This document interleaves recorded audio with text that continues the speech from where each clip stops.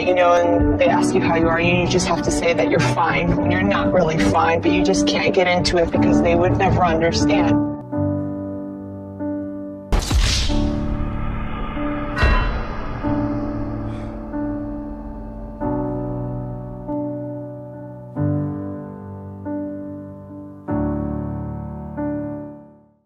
In a world where most of the best shows on television end up being cancelled far too soon, or they live long enough to see themselves be ruined. And who has a better story than Bran the Broken? I feel it my duty to bring attention to those rare few that maintain such a high bar year after year. Billions is one of these shows, and after just completing its fourth season with one of the best season finales in recent memory, I am in awe with how a show about hedge funds and district attorneys manages to stay so engaging and exciting. Tell me a few years ago that one of my favorite shows would end up being one focusing around the bureaucracy of politics and stock market managing, and I would not have believed you. But it's true, and as Billions continues to invest into its three leads, Chuck Rhoades, Bobby Axelrod, and Wendy Rhoades, it quickly becomes something so much more personal than the seemingly dry premise would have you believe. Bobby Axelrod, played by a daunting and emphatic Damian Lewis, is a billionaire and head of his own hedge fund company, one of the most profitable in the world. This company will not wait for an uncertain future. We will make our own future. We will fight back hard we will mobilize the war machine, and those who would try to bring down our house will see their own houses fall. For those who have no idea what a hedge fund is, it's okay. I had no idea what one was before watching Billions either. What is hedge fund?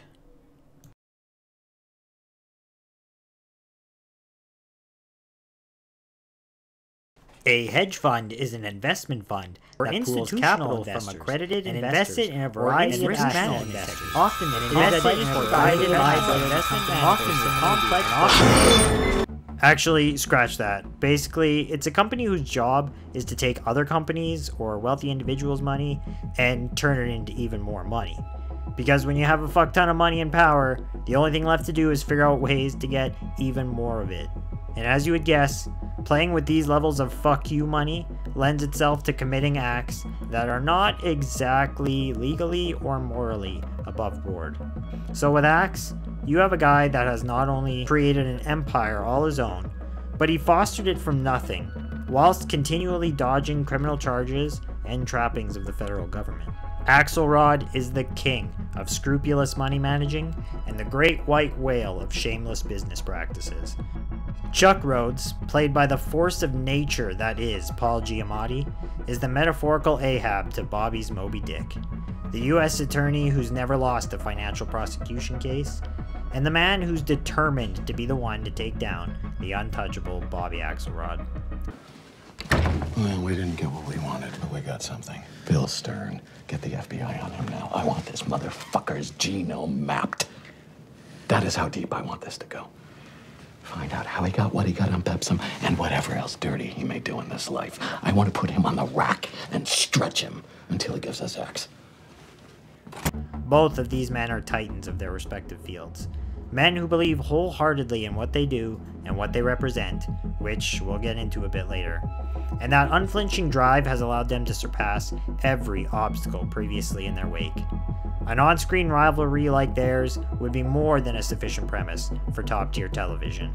But Billions takes things one step further and adds one final piece to this triforce of contentious perfection. Chuck's wife, Wendy Rhoades, played by the stunning and enrapturing Maggie Siff, acts as both an accelerant and inhibitor to the nuclear reactor that is Chuck's and Axelrod's rivalry. Wendy was first one of Axe's closest friends, and that afforded her the position of performance coach and on site psychiatrist for Axe Capital. No, it's where you've made yourself fit because you're so bound up in being the smallest, most helpful, unobtrusive version of yourself. Just like your mother shits on your head for. Now, what you need to do To prove her wrong and prove it to yourself is something totally out of character, big and bold, something public that terrifies you in order to free yourself. But her now husband is the man vying to be the one who will successfully prosecute her boss and best friend. This relationship between the three of them, a three way war of attrition that is constantly teetering between self destruction and self preservation, sets the stage for a story that explores the peaks and depths of human psychology and philosophy. Because this is not simply a story about money, power, laws, or politics. This is a story of the very nature of morality and what it means to be right or wrong. This is the dramatization of a game where philosophical ideology is the wager, and it is more valuable than any sum of money or branch of power. This is why you should watch Billions.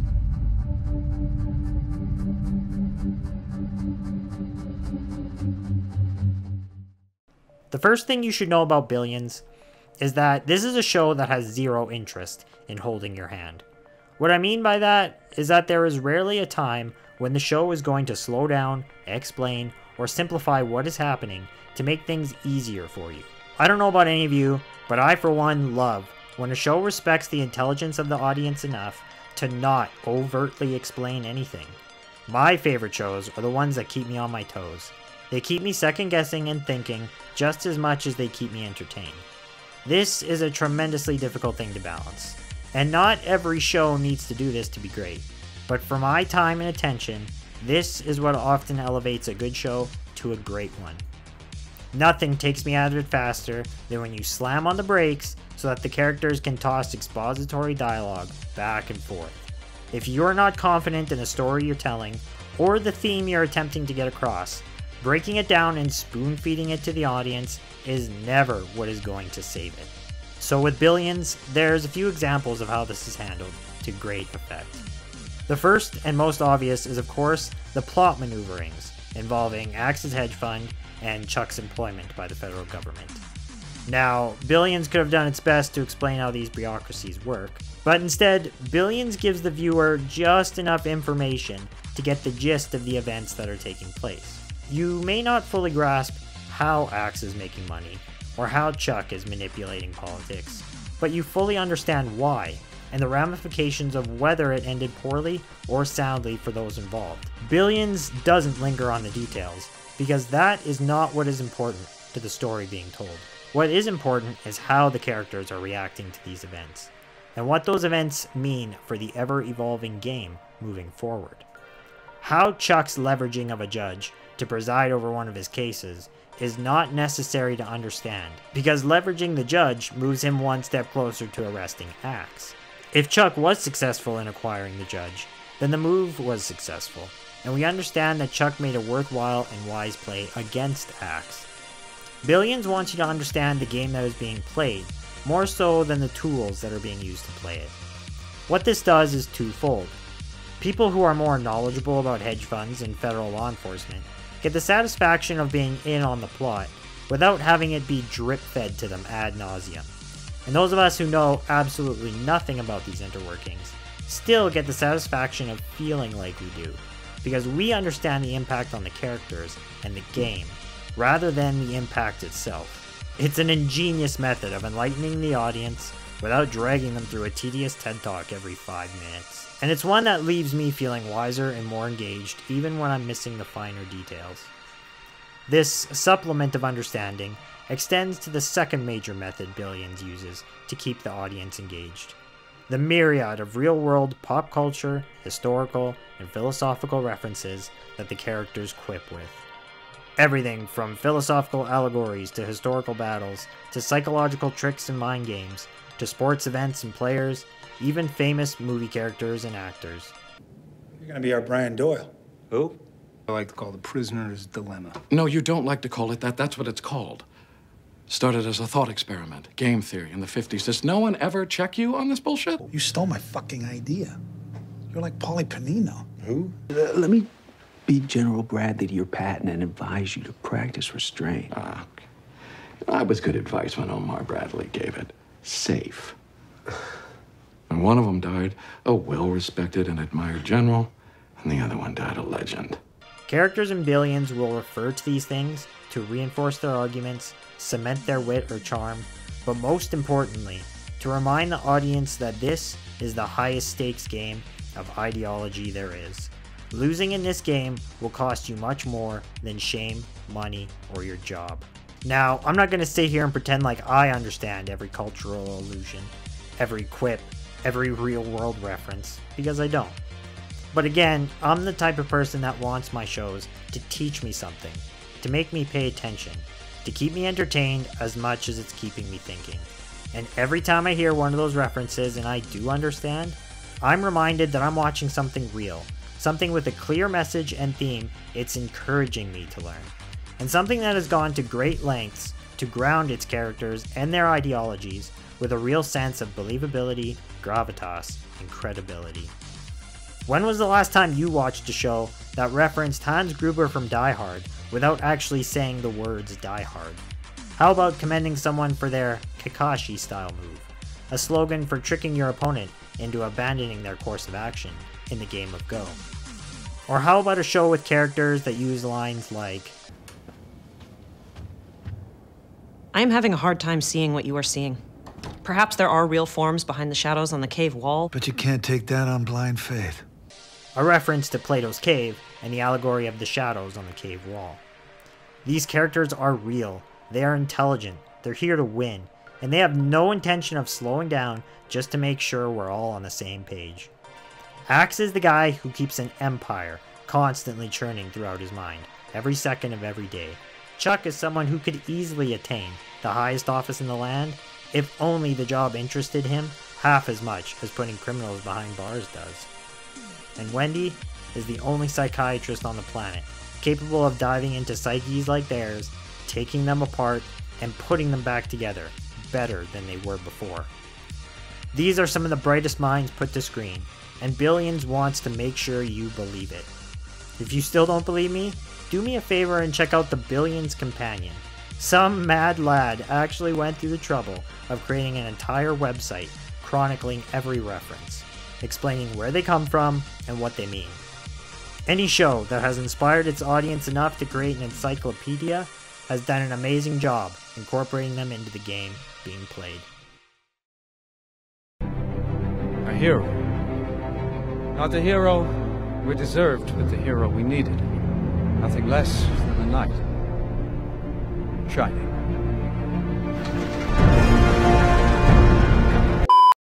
So, now that I've broken down what kind of players we're dealing with, let's take a deeper dive into the type of game they are playing and why they play it.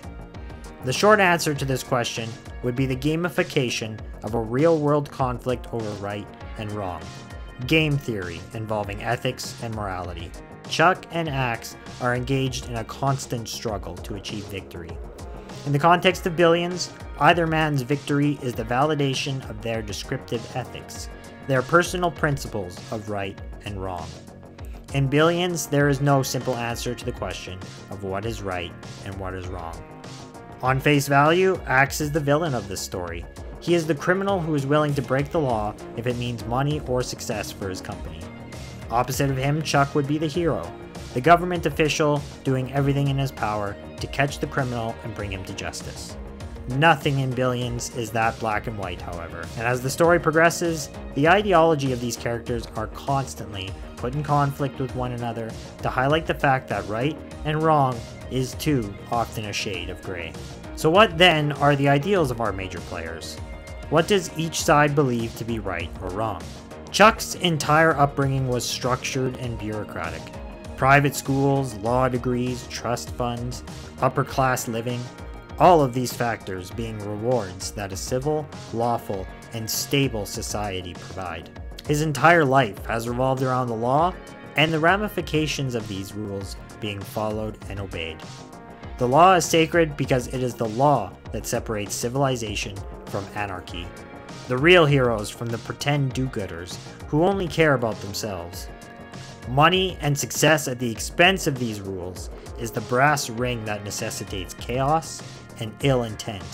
Now, the law may be a stable and civil set of rules, but that does not always mean these rules are fairly reinforced. And his mission to take down Axe forces Chuck to test the limits of this ideal.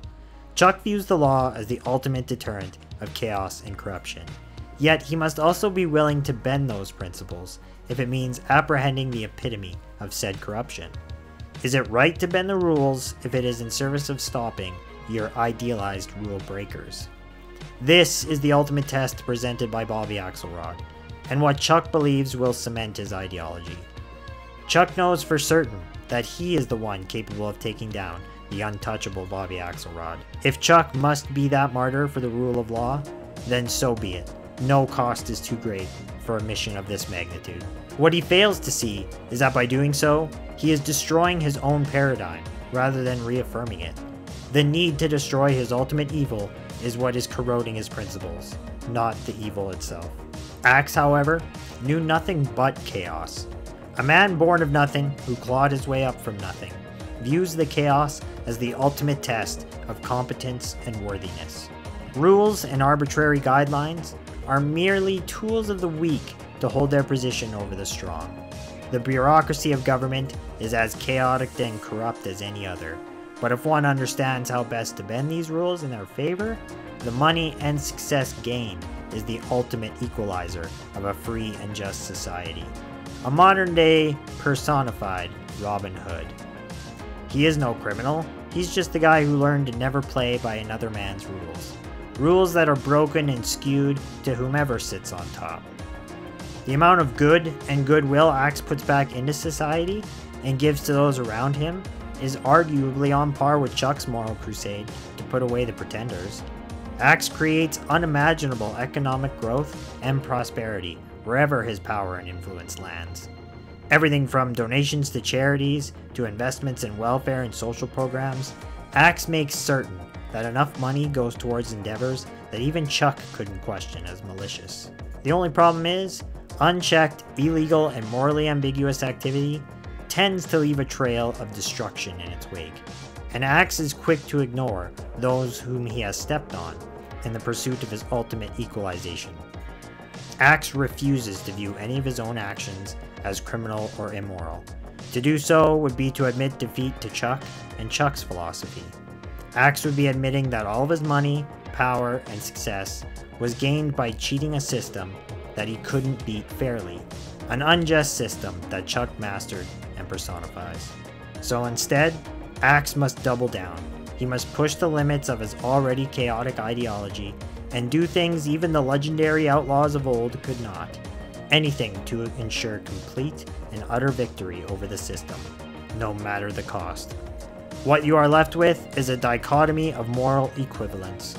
Both of these men are two sides of the same coin. The chaotic hero of their own ethical narrative, willing to be evil to correct evil.